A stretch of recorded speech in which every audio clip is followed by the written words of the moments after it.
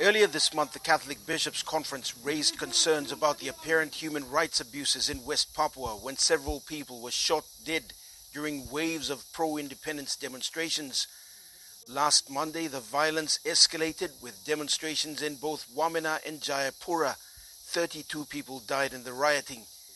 The General Secretary of the Catholic Bishops' Conference, Father Giorgio Licini, says the CBC is calling on Pacific and Asian countries to encourage dialogue between the Indonesian government and the West Papuan leadership. There is a word that we need to stress in these situations, and the word is dialogue, you know.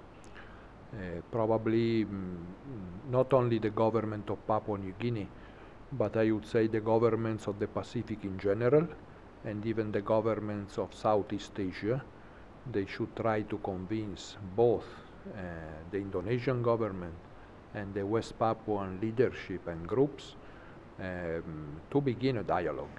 On Tuesday, three Papuan students shot dead in Jayapura were buried. In Wamena, both local people and members of the immigrant population were either killed or injured. The violence has caused the closure of the Wamena airport and the displacement of hundreds of non Papuans. On Tuesday, the Indonesian military evacuated the injured to Jayapura for treatment some of those who were living in the Wamena police and military bases were also evacuated.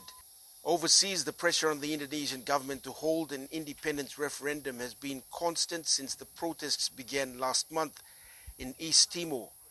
University students held a news conference prior to a rally calling for the same.